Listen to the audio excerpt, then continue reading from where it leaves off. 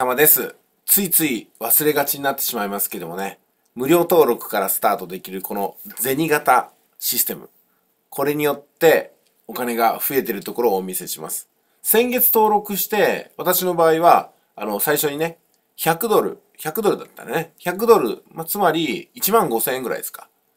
こちらの方でスタートしてるわけですけども、どうぞ見てください。こちらの方ね。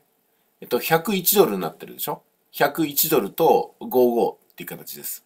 まあ、ですんで、今月中に102ドルになるかなというところなんで、うん、まあ、こうしてみると、月利1%、年利で12%っていうふうにざっくり見えるんですよね。年利12%って、ちょっとまあまあ良くないかなと思うんですけどね。うん。1年間で1割増える。1割以上増える。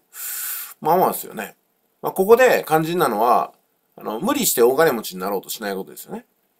で、私の場合、まあ私の、まあお金がね、いくら あるのかってことはこう置いとくとしてですね。私ですら、100ドルしか入れてないんですよ。うん、だから、どうですかね。うん、なかなか資産を大きくお持ちじゃない方が、100万とかね、300万とか入れるっていうのは、私としてはちょっとやりすぎなのかなっていうふうに映っちゃうんですよ。まあ、もちろん個人個人の判断なんで、私がね、決めるものではありませんけども、まあでも、無料登録から始めて、様子を見ながら、そして自分がこの銭形ヘッジシステムにね、どのぐらい関心を持てるかっていうところも大事です。今私は暗号通貨の白債ってのを追っかけてるんですけども、こっちのね、利率ってのはバカバカバカバカ出てくるんで、儲かりすぎるわけですよ。儲かりすぎて怖いなっていうね、そんなところがあるわけですけども、それと比較するとついついね、この銭形ヘッジシステムを忘れてしまいがちなんですけども、銭形ヘッジシステムのね、いいところはね、あの、情報を追っかけなくていいんですよ。